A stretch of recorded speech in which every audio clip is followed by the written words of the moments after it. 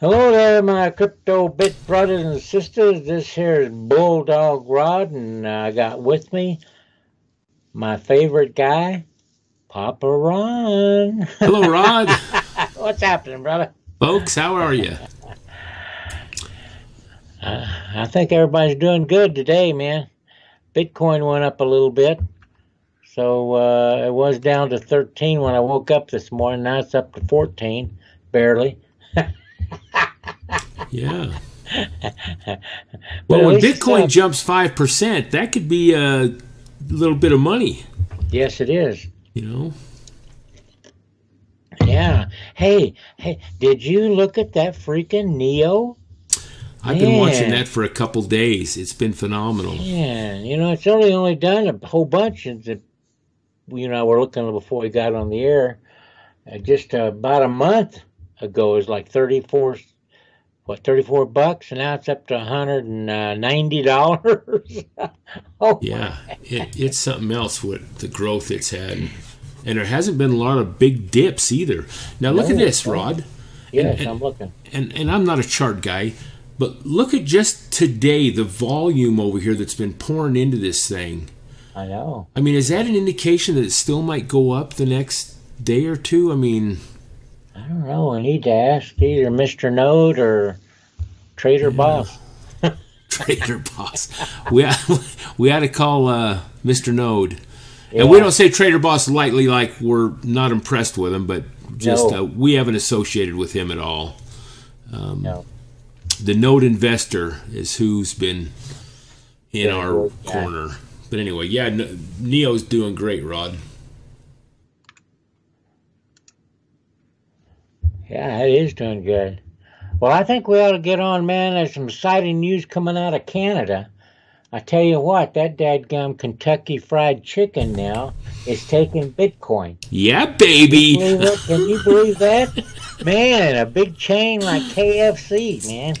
And, hey, and let me interrupt yeah. you. Let me interrupt you, folks. We uh, Rod and I were together in, and I don't know if you've heard of Ben Franklin uh, variety stores, but Rod and I used to be in the uh, retail business, and we had some Ben Franklins and some variety stores, and we had about five or six of them around the state of Utah.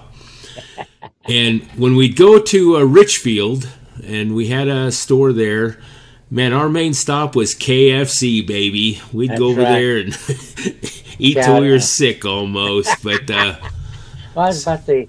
Uh, I can't say it's the only restaurant, but it was wasn't very many restaurants there at that time, and no, KFC was one of them. So, yeah, now now I see they got a lot more. But and now yeah, Bitcoin for them. Man, that's awesome. Yeah, I Canada, but you know, it'll start there, and if it goes well, then they'll bring it on down here, probably nationwide or worldwide. That'd be awesome. It just shows you two things for me. One, it shows you that that crypto is still progressing. The awareness is getting out there. I mean, Subway Sandwich also takes it, folks. You'll never probably see it advertised in there, but Subway Sandwich claims they take Bitcoin. So the awareness factor is big. The second point that it makes to me is it when when Kentucky Fried Chicken and what does it say here? They immediately sells out or something. Yeah, the whole bucket of chicken sells out immediately.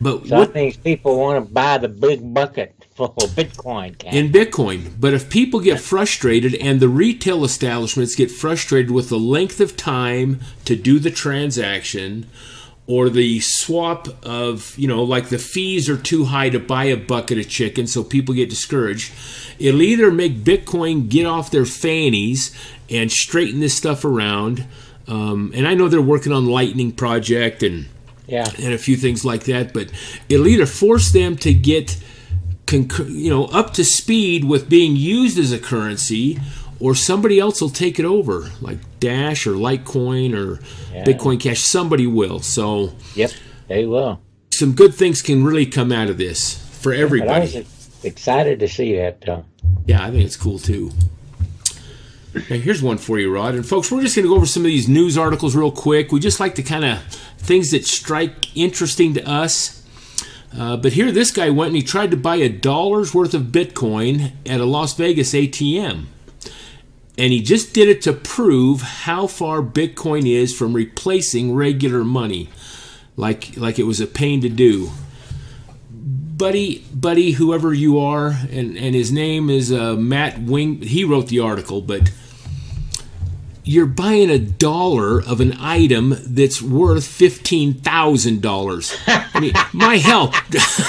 you know, what are you going to do with a damn buck? You know, buy a Snicker bar. I'll bet you can't even buy a Snicker bar in Vegas no, for a buck. No, um, probably. get a freaking life. What do you mean that uh, that this just proves that Bitcoin will never be a currency? It don't prove jack. You know what? Um, sorry, Rod. Yeah, I'm with you, brother. Yeah. I'm laughing at him too when I saw this. I said, "Say what? I mean, a dollar?" Put, put a hundred bucks in that machine or something, and then go, you know you can. Anyway, screw them. And the next one we're going to talk about is that Arizona residents they could be uh, start paying state taxes oh, with that? Bitcoin. Oh, I, I missed that one. Yeah, it's awesome, man. I was excited about that one too because if the Arizona starts, of course, Arizona, Arizona kind of does some stuff that's uh, considered, I guess, far left or far right. But uh, you know, I don't care, man. I think it's I think it's cool. They got it. That that's going to be awesome. Go in there and pay your taxes in Bitcoin. That well, would be cool. We know back in April that Japan made it a national currency, Bitcoin, and you can go to any government office in Japan and pay taxes or licenses or anything else. And and I'm with you, Rod. Now to see some of this come to the states, um, it's it's kind of refreshing. It's the start again, it's becoming mainstream, and it folks, is. we're just still at the cusp of this thing. Wait till it gets into high gear. What do they call that when it's just the very beginning? People are starting to see it. You said it earlier. the earlier. adoption stage. Yeah, we're in the adoption stage. That's right. I love that term. Or the accumulating stage for us. I mean, we're trying to get hold of enough coins because I don't care what that coin market cap says. It can show red for a month. I don't care. Sooner or mm-hmm. later, that baby is going to go ultraviolet, I mean, ultra fluorescent green. It's going to go up so freaking high that. Uh, I can't it, wait to go to bed one night and it's 13,000 and then wake up the next morning and it's 25. yeah. So. here's another one of our favorite guys, and that's this uh, Steven Mnuchin over at yeah. the. Uh, Treasury Secretary under Trump. How he got put in, I'm not so sure, but uh, this is a stupid statement. Well, sir, this comes out of shtfplan.com, and this this website, folks. Um, Rod and I've been not following this website, but we we review their articles at times and they're kind of a preparedness outfit. They're they don't have a lot of faith. The the the main writer for this, good guy, he's got some great articles, but you know they kind of propose that we're coming into an economic collapse and there's going to be hardships along the way. So this article was on that on that website. Um, and it's Steven Mnuchin, and he made the comment: "We want to make sure bad people can't use Bitcoin to do bad things. I found that the funniest art thing I think I ever heard of in my life. What do you think they do with fiat money, man? I cracked up, man. Uh, here, here's government trying to protect us. well, yeah, and and they're they do more bad. We are a country that has been in war for the last I don't know 200 years. I mean, we are a warring country, and yeah. and we're we're in Afghanistan protecting. Eh, I'm, I'm not going to get sidetracked here, but yeah, I don't. Uh, there's plenty of bad things going on in our government, and now they want to step up and say Bitcoin. We we got to watch this. We got to regulate it, and and uh, we are the do-gooders, and we know what's going to be good for everybody. It just it just drives you nuts. anyway, and we recently had a conversation, Rod, about this um, Novogratz. Oh yeah, yeah. Remember he launching some kind of a hedge fund or something. That's right. he was going to get yeah. two hundred million dollars, launch a hedge fund with cryptos. Evidently, he's abandoned that project. and uh-huh. now he wants to launch a cryptocurrency merchant bank. So again, he's out to raise two hundred million dollars to do this venture, and I don't know what happened to the other one. The article really didn't say why he backed out, or maybe he couldn't get anybody to donate the two hundred million. So he said, "Well, let's spin this into a merchant bank. Maybe they'll donate now." And catch this: he was. This is the same guy. This is the same guy, Rod. That um, that third paragraph down, right there, right there. Here you got it, right there. Um, Novogratz last year described a surge in Bitcoin, Ether, Ripple, and other cryptocurrencies as the biggest bubble in our lifetimes. Yeah.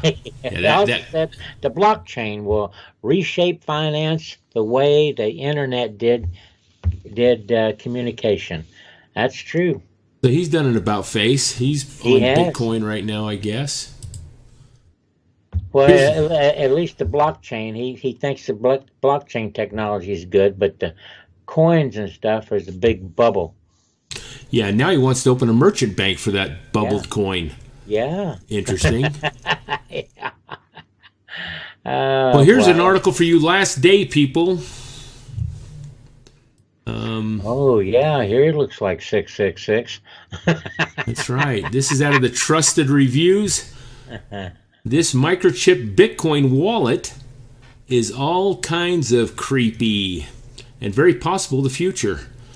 And we've known for the last year or so that that there's been programs to try to get microchips put into our hands like that and so on to keep track of um, you know our personal data and medical records and even your your bank account through like a chip that you can use similar to a visa But uh, you know, I yeah, think I that stuff. I think okay. that technology is coming, Rod. Yeah. Um, can, can you see this little chip in your hand and you, you're walking through the airport and they pull you over, hey buddy, come over here and let's talk a minute and you and you say, Where'd you get that million dollars of Bitcoin at? well, that is an excellent point. You know, it's more more control, more data on us that they want to know. you pay taxes on that? yeah. I mean, anytime you walk through a uh, scanner, it could pick up what you're carrying on your wallet and absolutely uh, know your whole life history, everything, man. Now the next thing we'll see is these. Know how many guns you got registered and bought in the past lifetime? You know, I mean, I can, that's scary for me, man. Yeah. It's government control. That's what they want. Yes, sir. That'd be terrible.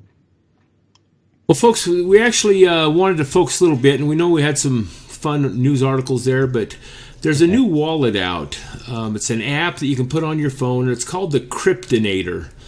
It just kind of, for us, it just kind of came in the limelight yesterday. And I don't know, it, it's probably been out a little while because it is up and running, I think. Um, and it's oh, uh, 2014, right?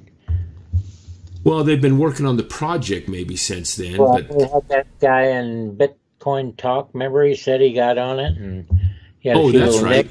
Okay, had a few little negative things to say. But you know, that was when it was just starting. I mean, it's two years later. Yeah, I think it may be pretty good. You never know. Well, they say now they have seven hundred thousand active accounts. Oh. 20 but it, processed transactions. Wow. Here's the difference in this app, folks. Of course, it's free to get on and download. It's out of the Google Play Store if you want it.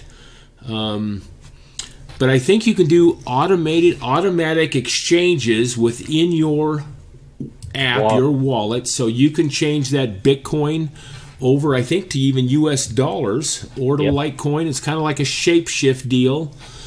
Now, like Exodus Wallet, Exodus Wallet actually sends those coins offline to Shapeshift to make the transaction, then they come back to your wallet.